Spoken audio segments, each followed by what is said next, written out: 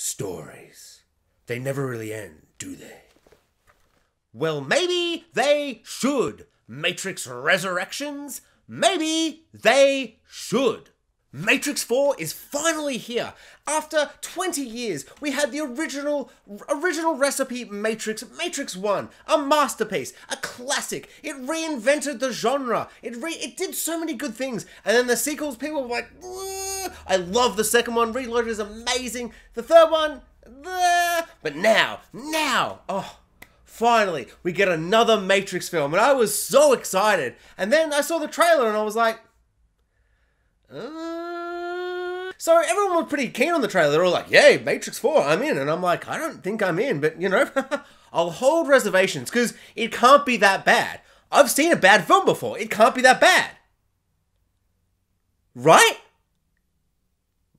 Right? So, Matrix Resurrections is probably one of the worst films I've ever seen in my entire life. It's impossibly bad. I hated this film from the first second to the last second. There was really no moment in this film where I wasn't like, I hate this. Like, sometimes I laughed out loud at how much I hated this. Uh, at least seven to eight times I imagined, like, if I had paid for this, I would have left and asked for my money back to go watch this at home for free. But luckily, you know, I had the I, I saw something in that trailer that was looking a bit, uh, and I was right. That that gut, that's that that instinct, if you will, of seeing a bad film in a trailer. I I knew it's not a film to pay for. So my first, you know, thing in this review, it's going to be a spoiler review, very spoilery. Ugh. But uh, my first thing is just don't watch it for one, because remember the good Matrix films. But two, do not pay for this movie. By golly gosh, do not pay. So, we start off, and the movie starts, and we're like, oh, Matrix, I'm excited. The Matrix music plays, and it's all like, and the Matrix, like the green stuff, and the, you know, the Matrix stuff. You know what I'm talking about. And I'm like, all right, I'm in, I'm excited. Negative thoughts are out of my head, and then it's like, remember the first scene of Matrix 1, original recipe Matrix? And I'm like, I do. And they're like, well, here it is. And I'm like, what? And they're like, yes, it's the same scene, but it's not Trinity with the good actress playing Trinity. It's not her. It's just some random. And there's another character watching that scene, and they're like, look, it's the first scene from the Matrix original recipe Matrix, and it's Trinity. And I'm like, what? What the hell is this? I knew it was going to be a little weird and meta, but what the hell is this? And then that just keeps going. We just see the first scene, and she's like doing the thing on the walls, and she's punching the agents, and she's like, she's gonna make a phone call, and then she makes the phone call, and I'm like, what the hell is this? They just reshot Matrix, but now it's bad. And now someone's literally in the film just being like, that's the film The Matrix. I'm like, I'm to take a deep breath because I'm going to lose my mind. This movie is so intolerably bad. I cannot handle it. And this really, you know, like this scene starts, you're like, well, oh, this is just the first scene. It's just the first scene. It can't all be this bad. but it gets worse. It gets much, much worse. So, Neo is trapped within another Matrix. He's not dead, but in this Matrix, he's actually the programmer for a very popular trilogy of video games called dot dot dot. You bloody guessed it, The Matrix. What? This is so close to actually being a spectacular idea, uh, but just they don't do anything with it. They don't do it well. They don't develop it in any interesting and meaningful ways. There's a couple of scenes where Neo's like, "I'm losing my mind. It's me, Keanu Reeves. I'm acting, and I'm actually acting good." No, so he's always amazing. I love him, but he's actually doing quite a lot in this movie that I really enjoy. The only aspect of this film I enjoy is really his performance, and he's all like, "Oh, I'm, you know, am I going insane?" He's talking to like the doctors and all these people, and the whole film, like the first act of this film, is essentially just the Matrix itself, just gaslighting Neo. Like he's like, "I think I'm in a simulation," and they're like, "The Matrix? That's just a video game you created. it's not real." And he's like, "I think it's real." They're like, "I don't know what you're talking about," and it's just like in theory and on paper, I feel like this is a really great idea. But watching it play out just felt really weird and just kind of like, I don't know, there's like no stakes and emotion in any of it because it's like, we know The Matrix is real. This film is not going to be two and a half hours long and be like a movie about Keanu Reeves, the actor, thinking he was in The Matrix, but it was real, but it's just a movie or something like that. It's like, no, no, no, no. The Matrix will be real. He's going to go back to Zion. He's going to go back into that horrific world where you're just like, why would anyone want to be in that? I'd rather live in the Matrix. Screw Zion. Which we'll get to. And but you know, it's just like there's no stakes, there's no emotional feeling to any of it because we know the outcome. We know at some point in the movie he's going to take the red pill or the blue pill. Who cares? I can't even remember. I don't care enough. I've already forgotten so much of this film, and I want to forget it. Like as soon as as I was watching, I'm just like, just washing over me, being like, I don't even want to remember this. This is so painful and brutally just bland and uninteresting and just so close though. Like at points there are like interesting themes and ideas it's trying to do, but I really felt like the filmmaking and just every aspect of the film, like even just down to the action, was just like no, no, oh, oh, no, no, no, no. But the worst part of this film is probably how meta it is. And I was expecting a bit of meta. There were rumors spouting about everywhere that this was going to be in like a like Keanu Reeves was going to be playing Keanu Reeves and in like a movie and he's going to be like, you know, I'm the actor Keanu Reeves from that movie The Matrix because how else would the, you know, what an interesting idea for the machines to be like if he's in another Matrix, how would people trick, you know, like if someone's like you're in a simulation, you're in the Matrix, but there's a movie called The Matrix, you'd just be like like in real life, you'd just be like what are you talking about, you crazy idiot? You're talking about the movie The Matrix with Keanu Reeves. So imagine that, but you are Keanu Reeves. Like, that's really interesting. And I really do think, especially that he just looks like Keanu Reeves now. Like, he doesn't have the really short hair and he's got the beard. Neo, he doesn't really look like Neo. He just kind of looks like Keanu Reeves in this film. And I do think that's because there was that one film, uh, the title, I can't remember, Bill and, Bill and Ted's Adventure Bogus Journey or whatever. The title's there. But, like, in that he shaved his beard and everyone in the whole you know in the whole world just kind of went oh uh please grow that beard back. Please grow that back immediately keanu reeves because uh you actually don't look as sexy and amazing and suave as yeah, yeah the beards. I don't want to say i don't want to say it but we all had to say it. The beard's doing a lot. Like it's hiding the age. It's making you look just God, he looks good. And in this movie, he looks amazing. And I'm glad he has the beard, but he doesn't look like Neo. He looks like Keanu Reeves. So I think, don't make him some video game engineer man who's like, I made the video games, The Matrix, I made the movie. It's like, make him be the actor Keanu Reeves. You could have had a lot more fun with this all. And then there's a scene where Morpheus, oh God, we'll get to Morpheus. So he's offering him the pill. He's like, I got the red pill. I got the blue pill. I got all the pills. Remember the movie. Remember, remember, remember. But instead of like a really interesting scene that's like developing the story and like, you know, probing into the characters' minds and asking these intense, amazing like questions about life and like, is reality real and all these things, like those scenes in Matrix 1 were not just great scenes in film. They were so iconic that they made every loser idiot like me just overquote them to the point where they're now like frustrating. You know, like they're like, I don't want to hear about that red pill, blue pill shit. Shut up. We're not in a simulation, Gary. You know, it's like that kind of thing. Was just like, I don't know. It was just so iconic. It was overwhelmingly iconic. It was like beyond anything. And it was such an amazing scene from the visuals, from the characters, from the performances, all the things, and the writing and everything. And now he's like doing the same scene. He's like, pills. I got the pills in my hand. But then he's also like, but also look up there on that projector. Matrix 1's playing. Pretty good movie, true. But it's not even a movie in this universe. It's a video game. It's a video game. He's like, look how good that video game looks. It looks like the movie Matrix 1. Look at all that resolution on their face. I'm like, what? You couldn't even recreate the scenes from Matrix 1, but not like make them all PlayStation 2 or something, which would kind of be fun and interesting. Like, this film was so close to just being like a stupid, silly slapstick comedy like I feel like if I watched this with like a group of friends, we'd just be laughing at it the whole time. So they may as well have lent into it and like done interesting things. Like that, he, the video game he created is so realistic and so lifelike that it's just human beings on screen from a movie from the Matrix One original recipe Matrix. Are you kidding me? What the hell, Lana Wachowski? Are you kidding me? I don't buy this shit. In fact, I'm disgusted, offended, and uh, a little bit just like no, a little bit. I am incredibly irritated that you think you can just projector on the back of a screen being like, remember that other movie? While they sit in chairs that are like that other movie and just being like, remember that other movie? This is what cinema has been like for the last 10 years, but it's never been this egregious and disgusting and lazy and cheap and pathetic. It's just utterly disgusting and just far too meta for its own good and it's not interesting. It's not funny. It's not like, you know what this film really feels like it's trying to be? I feel like it's trying to be Scream 2. Well, not just Scream 2, actually. Like, the whole Scream franchise. But particularly the scene that comes to mind is like the scene in Scream 2 where all the film students are all hanging out. And, you know, Scream 2, the sequel. And they're all talking about sequels being inferior to the original. And someone's like, actually, no, what about T2? And what about Aliens? And blah, blah, blah. And they have a whole discussion about sequels. And it's very meta. And it's very fun, though, because it's like, yeah, these are all just characters in a high school. Like I've been to, I went to film school. Like we have discussions like that where everyone's being low, like,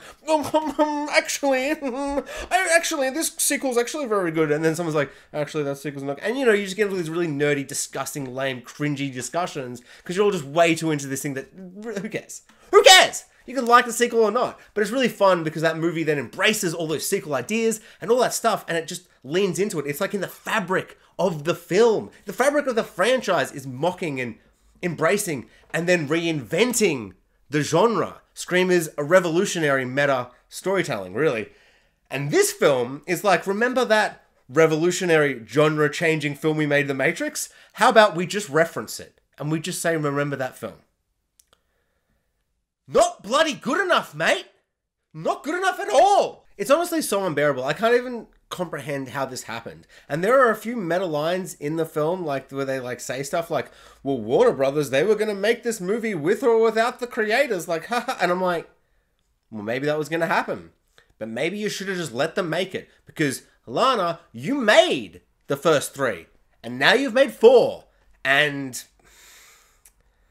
I mean, honestly, I think a, a, room full of executives could have made something better than this because uh, a room full of executives made Force Awakens, and despite everyone's uh, issues with that film, at least it's not one of the single worst pieces of cinematic anything that's ever been made. I can't even speak properly. I'm so angry. It's such a terrible film. This is like a disaster. This is honestly, this film. People keep saying something, something, something. Marvel superhero cinema is dead. No, they're all wrong. Shut the hell up. The MCU is amazing. You see Spider Man No Way Home? Bloody nostalgia, but done right. Mostly. This film really makes me go, oh, wait, no, they're all right. The reboot, remake, legacy sequel universe that we live in now, with the, that's all that we've been making for 10 years. And now this is the moment where now I, ha- I have to put my foot down. The foot went down. Cinema is dead. The Matrix Resurrections killed cinema. Oh my god. I hate this movie so goddamn much. It's so bad. You know why? Laurence Fishburne and uh bloody what's his name? His name's there. That's that's uh, Elrond. Um um Mr. Smith. No, that's the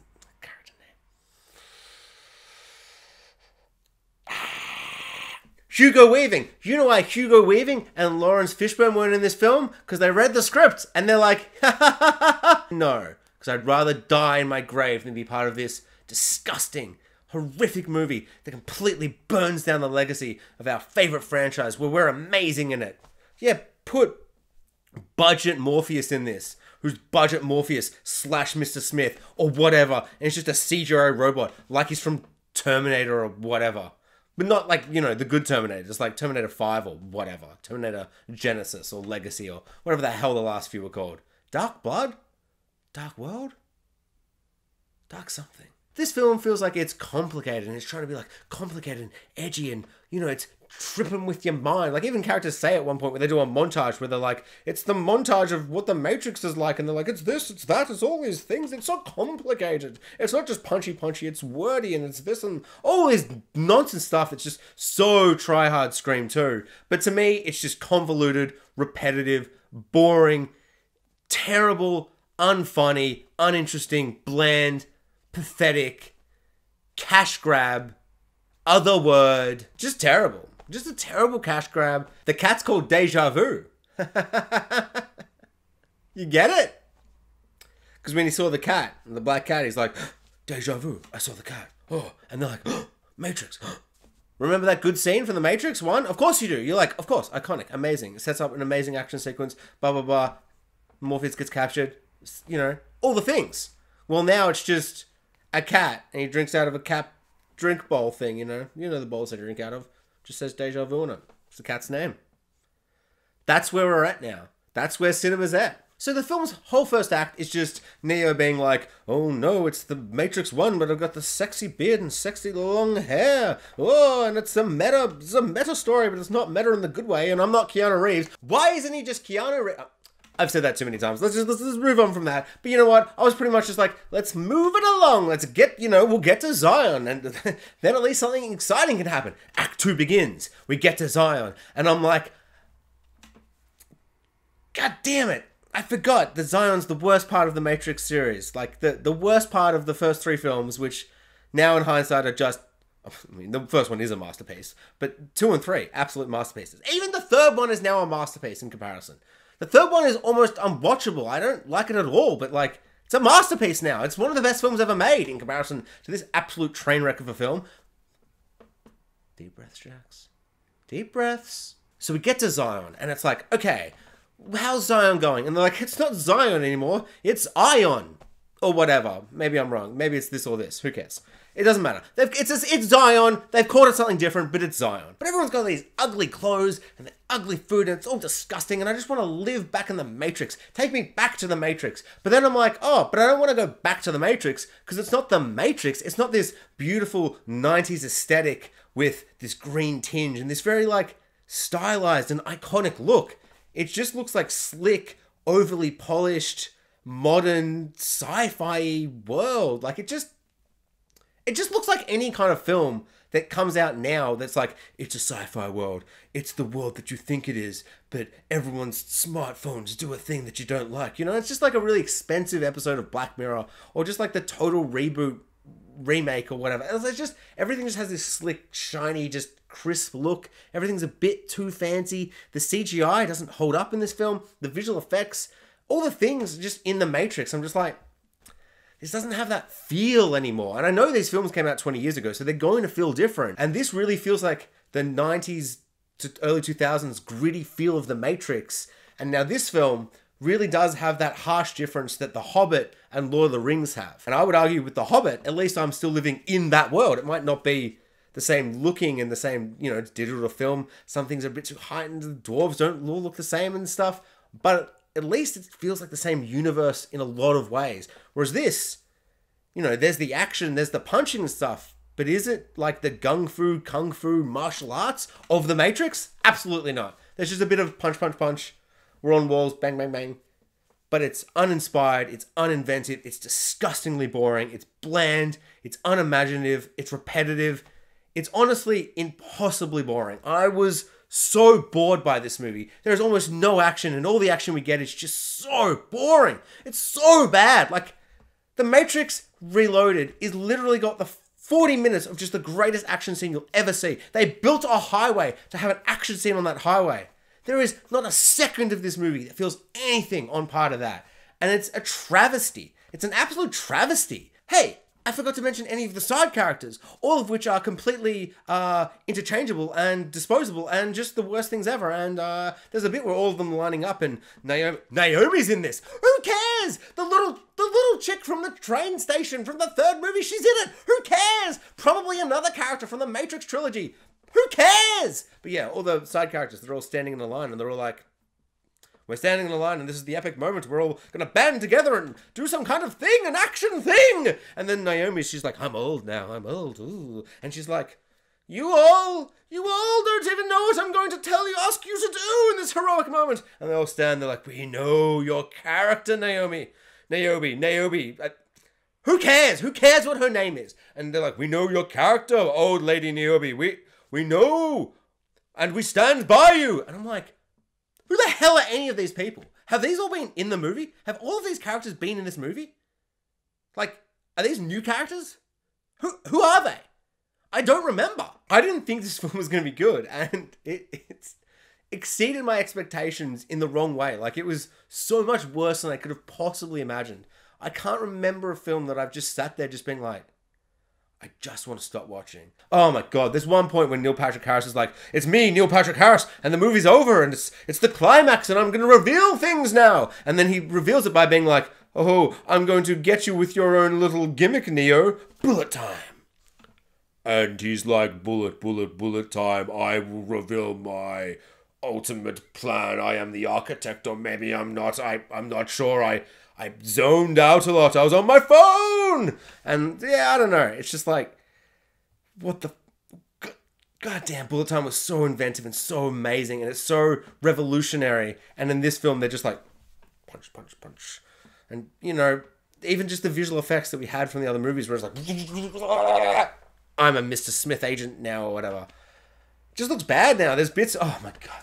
Instead of Neo, you know, remember Neo when he was like, dude, he does karate, martial arts, and he's like, boom, boom, boom, boom, boom, upgrades. Boom, boom, boom, boom, That's just amazing. That's just amazing. Well, now instead of fighting, I guess no, I was gonna say because he's too old, but no, he's John Wicking all over the place. Where it's like, bam, bam, bam, bam, bam, bam, bam, bam, bam. John Wick. I'm John Wick. I shoot. Oh, he's so good in that, and apparently there's lots of you know, real stunts and stuff. But in this, instead of cool karate, he's just like, he just shoots force power. Where he's just like, I'm a superhero now, and just shoots power out. There's one joke in this film.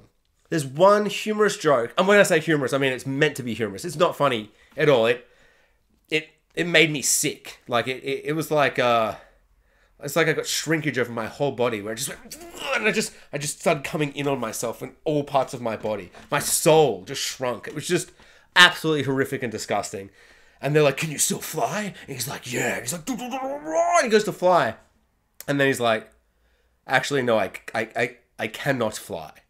But it's not like a whole big moment where you like you build up and the tension, the, the action. You're like, "Oh, he's gonna fly," and then he can't. It's like it half does it and then the line where he's like, I can't fly. He's just like, I can't do it. Who cares? Let's move on to the next scene. It's like they didn't set it up properly and then they didn't execute the, the payoff properly. It just, they were like, we got to do a scene. There's another scene in the trailer where he's like, I can still do kung fu. But he's just like, it's not like a big moment where it's like he hasn't done any kung fu. Then he's just like, Wah! I can still do kung fu. Like a moment. He's just punching for like a minute. And then after a minute, he's like, oh, I can still do kung fu. And then just keeps fighting. And it's like, I swear you did Kung Fu earlier. Were you not surprised then? What is this movie? God damn it! This film is so gimmicky and meta and just oh, it just it, it feels like it's doubled down on all the worst aspects of the remakes, reboots, legacy sequels, and all that kind of stuff that Hollywood has just been like, this is what you want. Remember that IP from 20 years ago you love? And I'm like, I do. I remember. Lord of the Rings. The Hobbit. The Hobbit has a billion issues masterpiece compared to this. Terminator Dark Fate. Kind of as bad as this, but somehow probably still better. But that that was a bad film too. Somehow the final battle is just all spectacle, but also absolutely nothing, and you feel nothing, and it's like big explosions and fire and everything, and motorcycles and main characters going through stuff, and it all technically looks good, I guess, you know, for how bad the film mostly looks. Uh, God, the CGI in this does not hold up, like, at all. It's this is Matrix 4. Why does this look bad? But yeah, you really know your film's not working where the final act, whatever happens, you're just like, I just don't care. Like, Neo could do the most incredible thing, and I just don't care. Well, at one point, a helicopter shoots a missile at him, and he's like, Wah! and it hits another helicopter, and I'm like, please just end the movie? Like, if that helicopter exploding ends the movie, do it. But if it doesn't, just don't do it. Just end this goddamn movie. Feels like it goes for 300 hours. So I give this film a 1 out of 10. And that one is for Keanu Reeves acting in this atrocious, you know, mess of a film. And, you know, he's acting, and I, I enjoyed his acting. And his hair and his beard. He's got a good look going on. I understand why they kept the John Wick look, even though he doesn't look like Neo at all. I, I like it. It's It looks sexy. I, I, I dig.